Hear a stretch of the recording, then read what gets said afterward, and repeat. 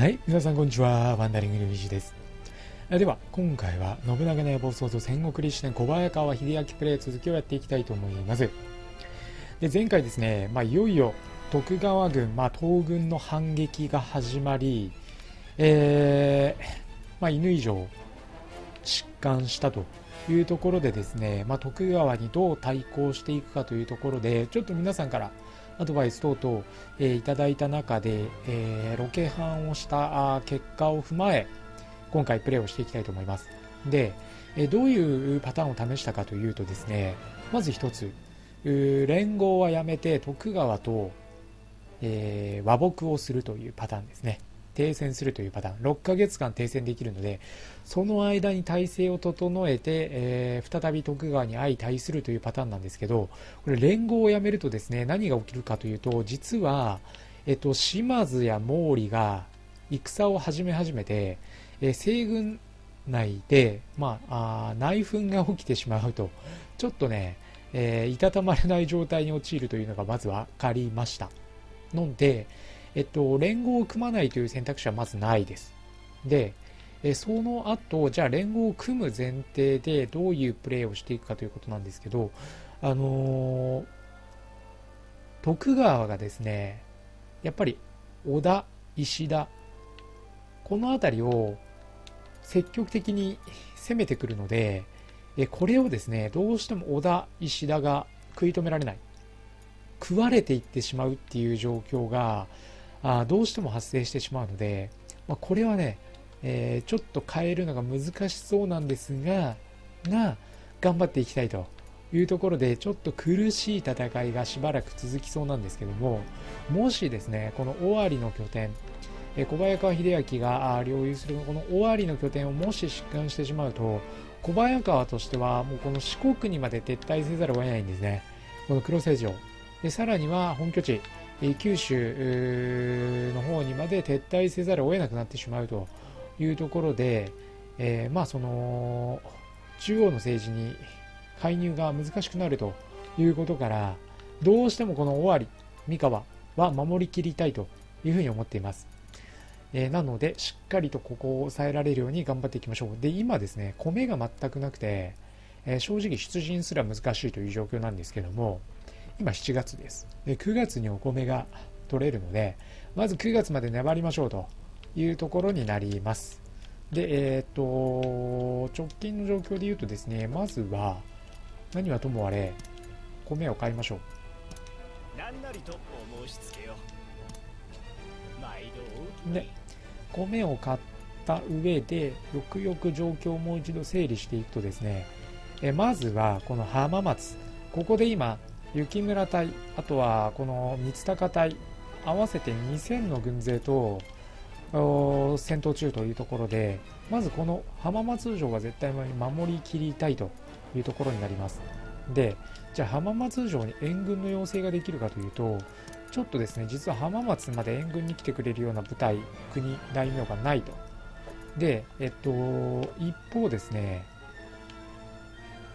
ここ鳥峰城ではあ同じく徳川軍が石田軍と戦闘中と。でここは織田の領地なんですけども現状はですね石田が援軍に駆けつけているという中で、えー、まあ、なんとか守りきれるかなというね軍勢の数同士では。ただ、えっと、どうしてもやっぱり徳川の方が兵の質量ともに多いので押し込まれていくのは、まあ、必死かなというのがロケ編からも判明しているのでできるだけここにねえー、小早川がうまい具合に攻撃をして挟み撃ちにして、えー、徳川の侵攻を妨げていきたいというふうに思っています。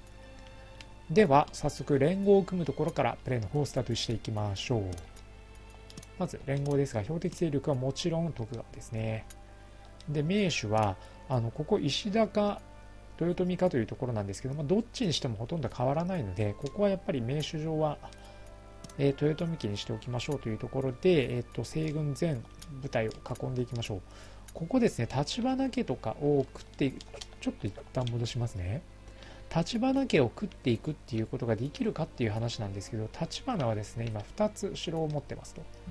で、確かに宗重はじめ強力な武将がいっぱいいるので、えっと、欲しいといえば欲しいです、正直。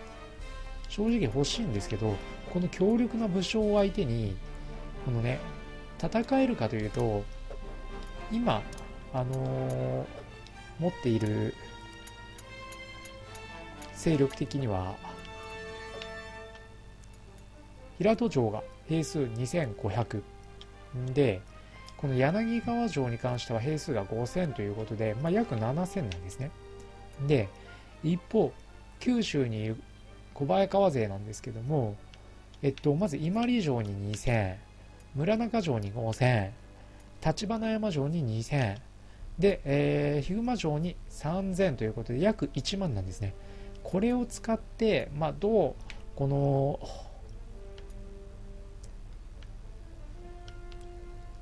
立花家を倒していくかという話なんですけどここ実は賭けかなと思ってるんですよね。もし、えー、ここを誘わなかった場合何が起きるかというとおそらくですね毛利あるいは島津辺りにあっという間に食われるんじゃないかなと思うので、えっと、じこのターン今回はちょっとやらずに行こうと思ってます。で立花家に関しては残り8ヶ月間で同盟が切れるので、えっと、この同盟が切れた後にまああの武将をね食っていくっていうことをやっていこうかなと思うんですけどどうしようかな。8ヶ月間か。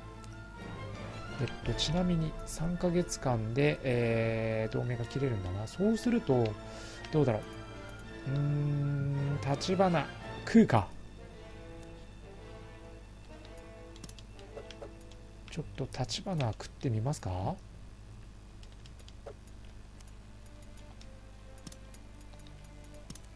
いや、厳しいよなえっと、まずどうしても食うんだったら、外交で、交渉で、破棄。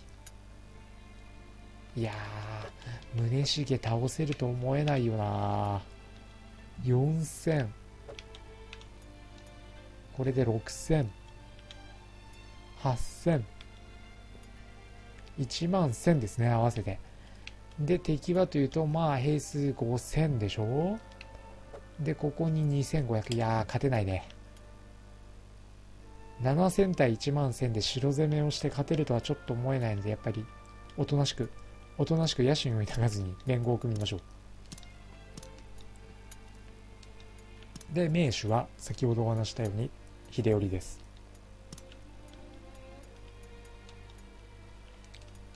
これね、速攻で連合を組まないと内紛始め出すんで、本当にね、それだけは勘弁してほしいなって感じになるんですよね。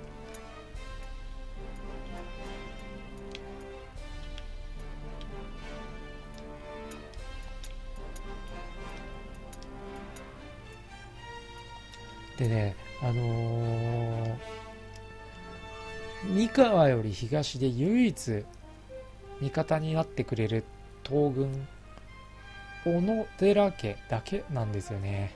もうちょっとね、徳川を、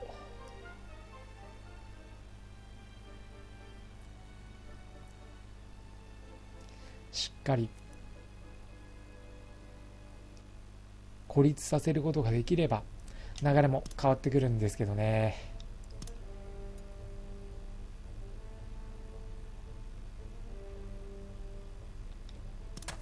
さあ、連合を組みましょう。で、えっと、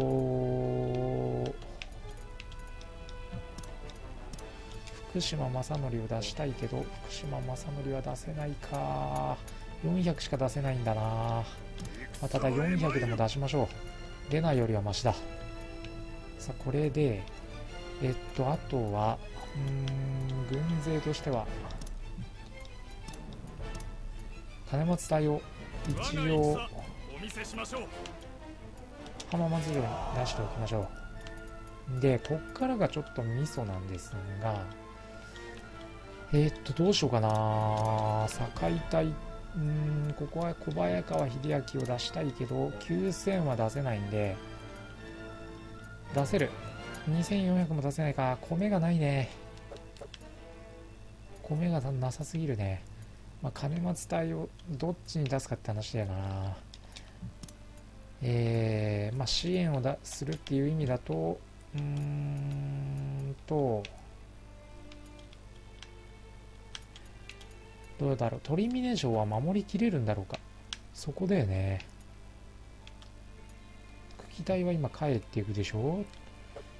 ここがえー、304、まあ、800ですね。味方浜松城、えー、守り800。敵方が雪村含めて2000。ちょっと危ないね。ここはやっぱ金松隊はおとなしく浜松城に向かいましょう。これでいいかな？はい。では進めていきましょう。城が取り囲まれました。我が戦浜松城に6300か。この6300は退けるの厳しいよね。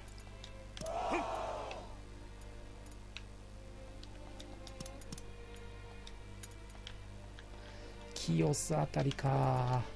いやここの6300守りきるの本当に厳しいね。というか一旦そのロケハンをやってる時だとここの浜松城はもう守りきれないんですよね。で、一旦岡崎まで引くっていう選択肢にしたんですが、今回もそうせざるを得ないかななんとかね、9月まで持ってくれればいいんですが、それすらちょっと難しくない。おっと、ただ、ここは？山之内隊と雪村隊がぶつかってくれているっていう珍事が起きてるな。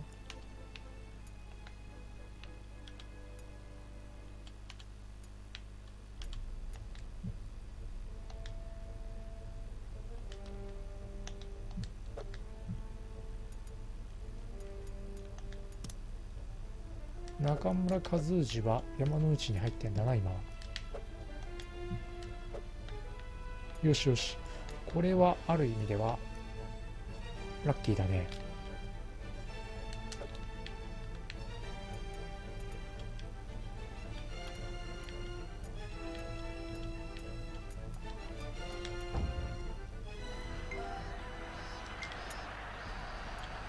で山の地帯を撃破したので、えー、ここで、えー、っと金松隊が踏みとどまれるかどうかだな。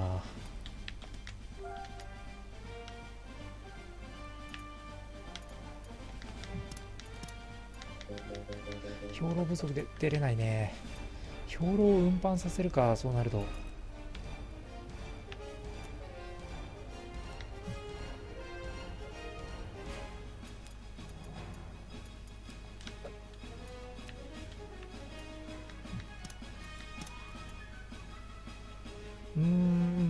うしようかな。かなり厳しいよね。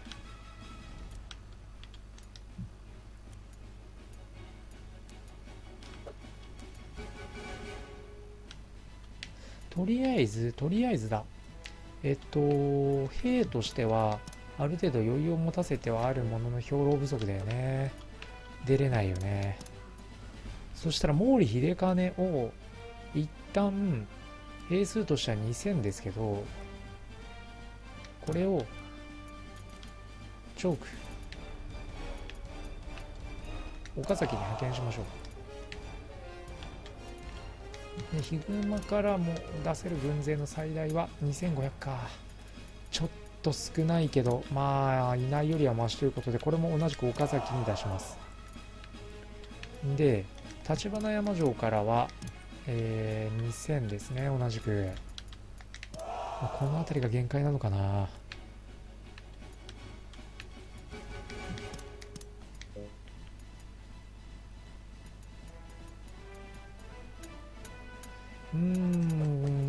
こが出せないな村中城の4800が出せないというのがかなり痛いな。あとは黒瀬城は？黒瀬城の1500これも岡崎に集結させましょう。これで一旦なんとかしのぎ切りたいな山内和豊隊金松隊あと2ヶ月。9月まで。さてとこれで連合は一旦結成済みになりますね。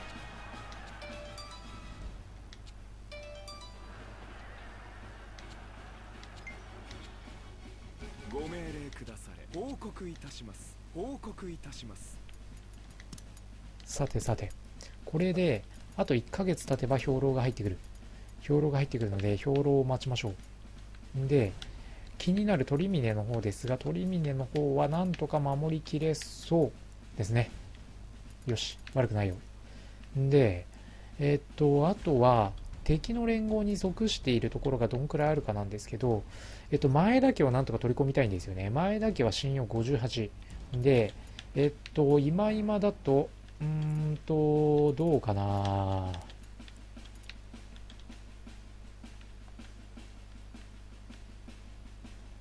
あと1ヶ月経てば前田も誘えるようになるし今今だと徳川と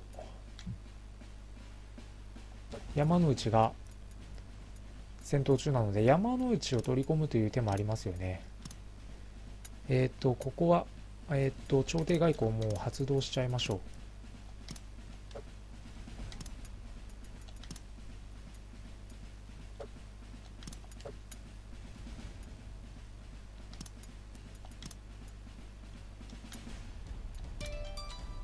山之内とこれで一旦和睦をしてえーっと山之内と和睦をしている間に山之内との関係改善に努めてみますか？なんとかねそれが叶えば一番いいですけど。で今やってるように稲葉正成を少なくとも前田家に工作に出しているのが来月60になるので60になれば連合に誘えるのでちょっとそこまで頑張りましょう。当面の危機は去ったので一旦騎乗させてえーっと徳川の侵攻に備えるということになりますね。で今山之内と徳川が先端を開いているというのは、えーラッキーなのでこの状況をうまく利用しましょう片桐隊は岩村城に向けて出陣中か。これはでかいね。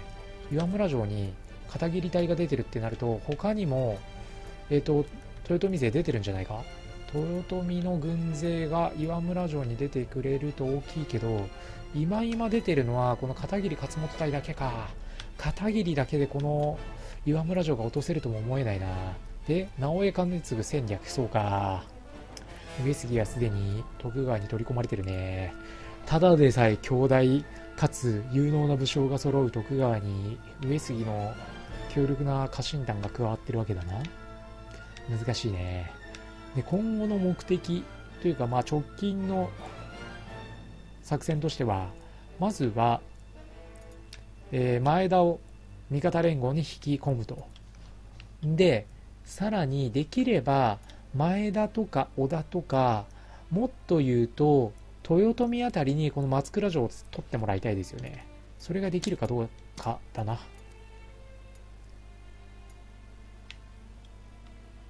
豊臣に対してはえー、っとダメか。豊臣に対してお願いしたいところはいくつかあるんだけどな。ちょっと待ってくださいね。今味方の連合に入っていないところがどっかあるのか？小西家か。小西家はなんで誘えないんだ連合に？小西家を連合に誘わない手はないけど。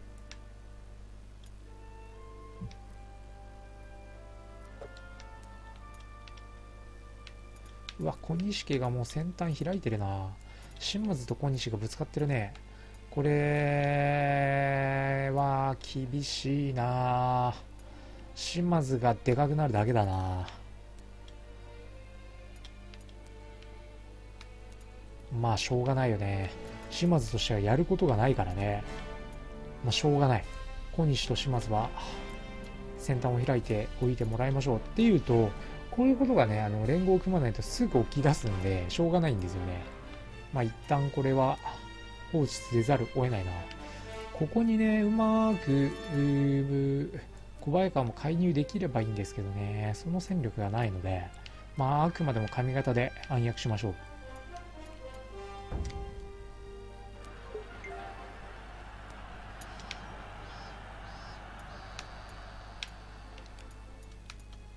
豊臣勢としては6200さらに片桐の4000、まあ、約1万が岩村城攻略に向かってるんだな。ってことはここに増援を出してあげたいな。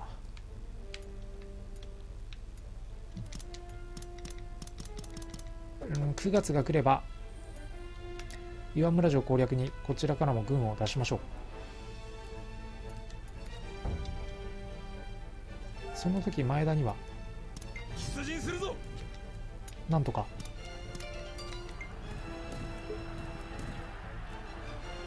こちらの連合に加わってもらいたい。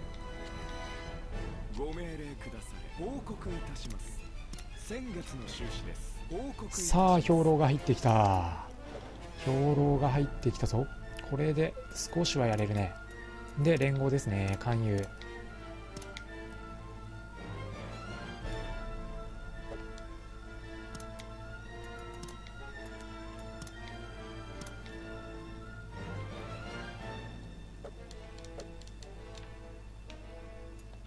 うん？ちょっと待ってね。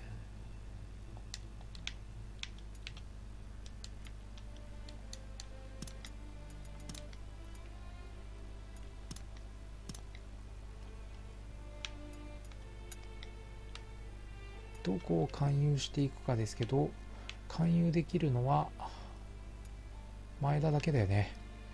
前田をこちらに引き込むという意味では完璧だね。よし。これで前田を味方の連合に組み入れましょう。で敵の連合はというとやっぱりそれなりにでかいんで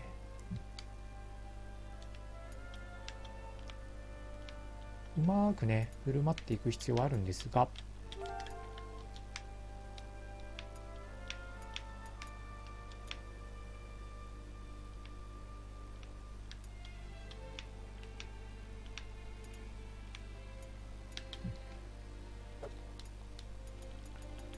ここでやっておかなきゃいけないことはしっかりやっておきましょうね。まずは外交で朝廷外交ですね。ゼロになってるのをしっかりと戻していきましょうというのが一つとあとはえー、と回収系ですね。岡崎城がおそらくこの後最前線になっていくけど木材がない。木材不足か。木材を買う金はない。金はないんでしょうがない。えー、金がないのはどうしようもないのでうーんとそうすると政策を執り行います。何か何かないか？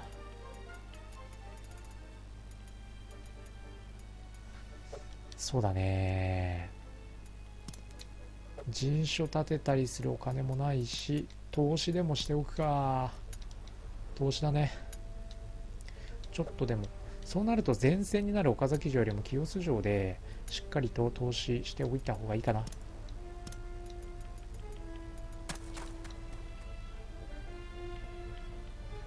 特に米だな。米。米に対して徹底的に執着していきましょう。もうこうなったら。米がないとね本当にきついんですよね。出陣できないっていうね。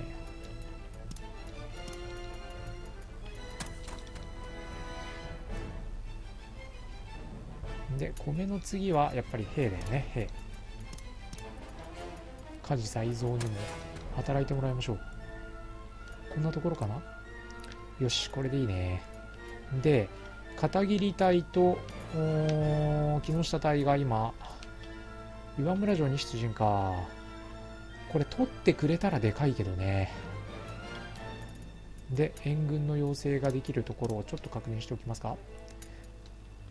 松倉城なんだよねやっぱり最善が。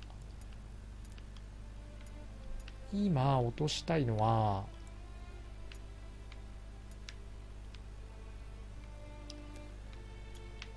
まあこの金森家の松倉城なんだけどな。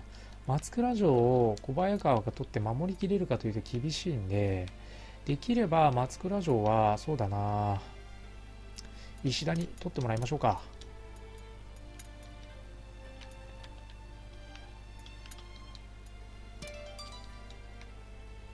さあこれでどうなるかですね。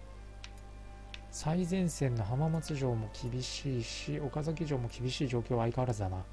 問題はこの鳥峰城が守りきれるかどうかだ。出陣するぞ。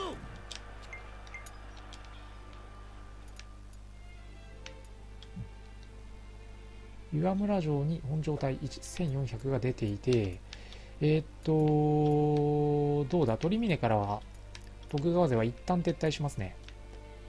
ここにうーん小早川としては兵を出してあげたいけどな。兵出せるのかな？ちょっとただ様子見だな。一旦は様子見しましょう。で援軍でいうと岩村城に出せるだけの軍勢を出してあげましょう。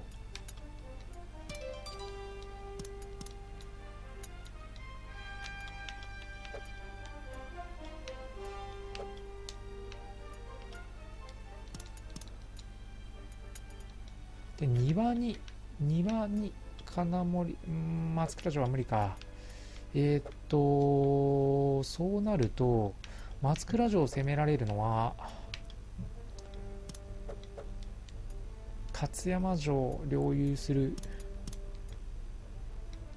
織田家だけか。落とせるのか？落とせないよねっていう気はするけどね、まあ、しょうがないからなこればっかりは。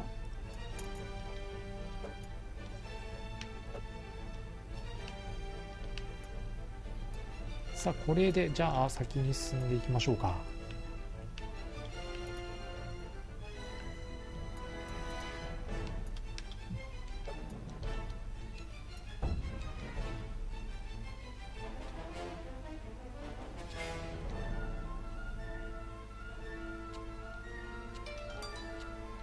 金森家はなかなか無理だね。で前田はよしこれで前田が味方の連合に入ってくれたので少しは楽になるな。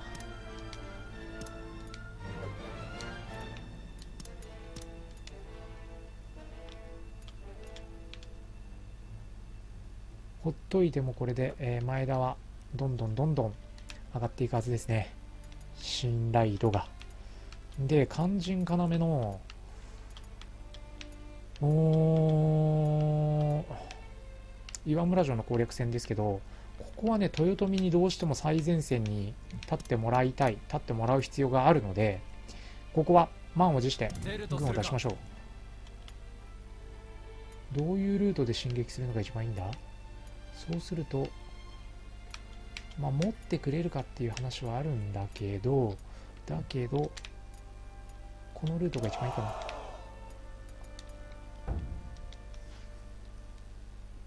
表情を始めましょう。報告いたします。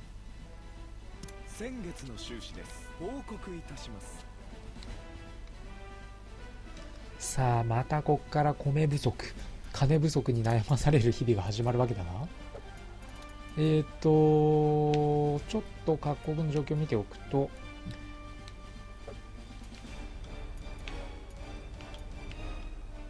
一応岩村城に対して増援三成本体6300含めて増援が出てるなこれはなんとかなんとか豊臣に前面に出てほしいところではあるので豊臣に頑張ってもらいたいですね。で前田家の絶対戦力は3万か。結構大きいよね。徳川が14万でしょ？で浅野が1万7000で我が小早川家が3万なのでまあ大きいといえば大きいよね。で石田が11万。うん豊臣が7万やっぱり徳川にうまくはまれば全然倒せるんですよ。全然倒せる。倒せるんで、えー頑張りましょう。駆逐していきましょう。で厳しいのがやっぱこの織田なんだよね。織田が1万5000になって減らされてるもんな。よし頑張りましょうね。ではこっから先進めていきます。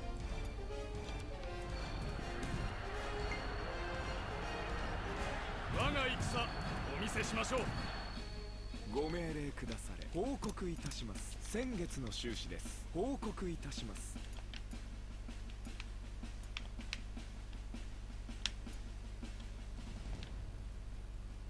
岡崎城に九州から本体がさっさと到着してくれるとありがたいんだけどね。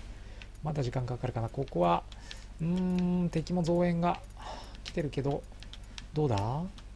うまくはまればはまれば倒せるな。ただ石田の領地にはなりそうですね。豊臣というよりかは。さあ3方向から攻撃していきましょう。表情を始めましょう。報告いたします。これで完全にまた兵糧が底をつきますね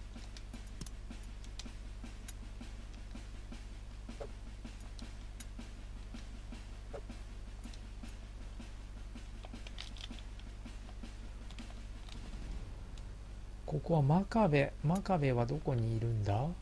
須賀川城か。ちょっとあまり意味がないね。そこだと遠すぎて。なのでえー、っとこのまま先に進めていきましょうか。まずはこの岩村城の攻防戦ですね。大攻防戦と言っていい。出陣します。よし。うまくさばいたので一旦兵を引きましょう。鳥峰まで兵を引きますで佐竹隊4200に相対するか。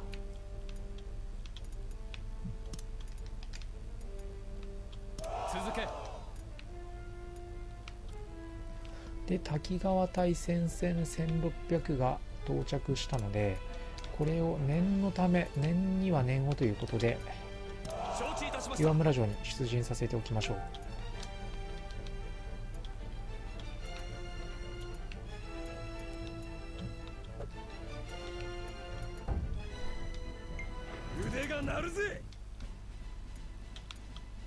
増援が来るね。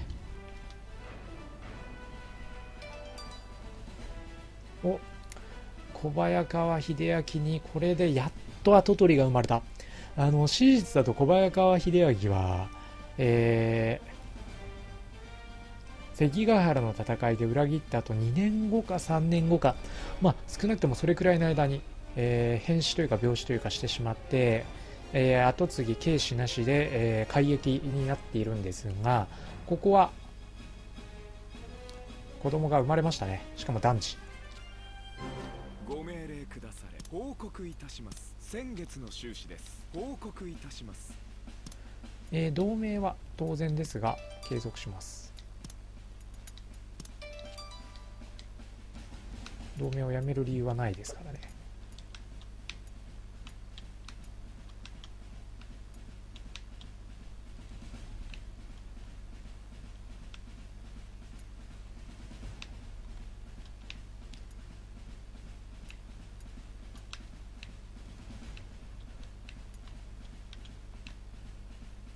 で今だとそもそもここにいる5000が出せるんじゃないか？出せるね。我が戦お見せしこのましょう。5000も岡崎に入れましょう。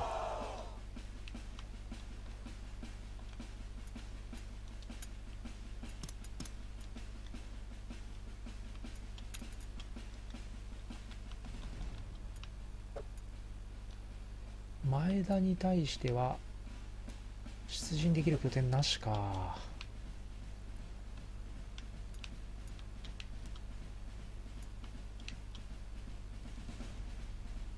どうだ？堀家とかも取り込んでみる？そうすると。工作で堀に外交攻勢をかけていきますか。時間をかけてね。里見とかはちょっとね遠すぎてあまり意味がないというのとあとは山之内もうん取り込んでみますか？山之内もね。で家宝がどんくらいあったっけ？家宝はこんだけか。ちょっともったいないな。山之内に家宝を出してどうなるかって話だよな。山之内とちょっと考えますよね。山之内と外交するかどうか。あとは外交でそうだね。入れておくところってないもんな。政策でえっととりあえず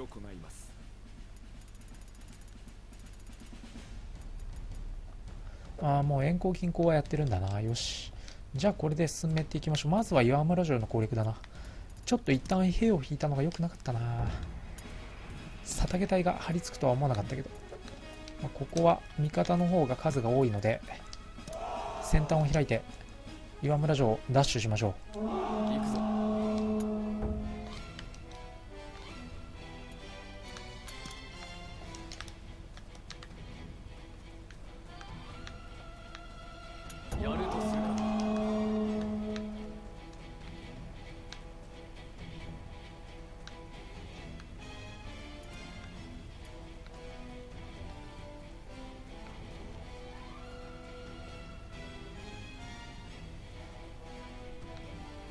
敵の増援が迫ってはいるはずなので敵の増援が来る前に敵を畳んでおきたいですね。無刀ぶりも使って乱戦で。うーん離れられたか。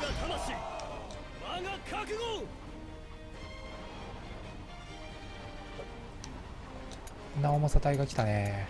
そしたら直政隊に当たりましょう一旦は。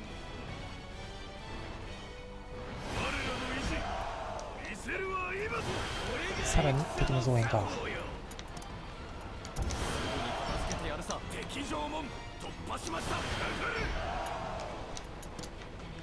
続け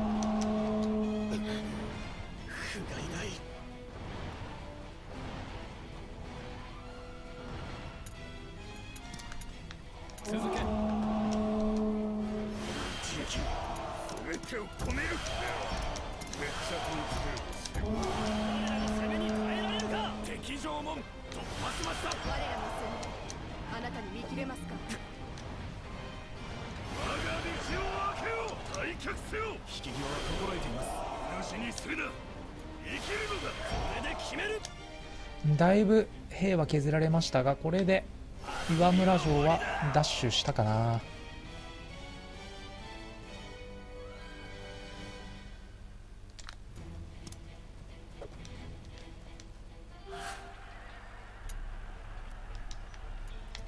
では秀明は撤退しましょう。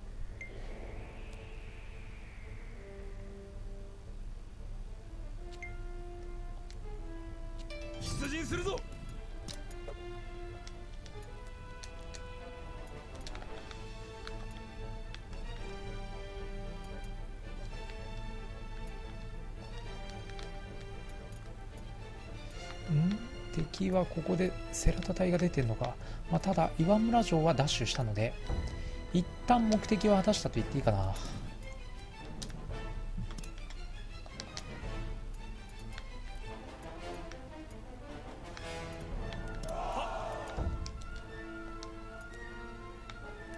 ご命令ください。先月の収支です。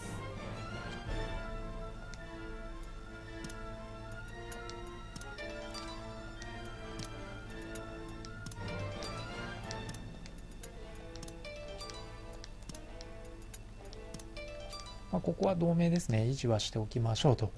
はいというところで、まあ、今回ね今までロケハンした中では一番まともに、えーことが運んでいるかなという状況になります、えー時代は進んで1607年。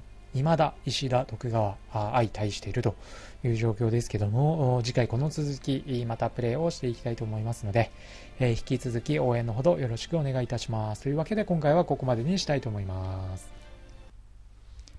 はい。というわけで、えー最後までご視聴ありがとうございました。ぜひ、チャンネルの登録、あとはですね、ツイッターの方で動画の収録状況と、あとは配信状況、まあ、その他もろもろ情報を発信しておりますので、えー興味のある方はぜひツイッターの方もフォローしていただければあ嬉しいなというふうに思います。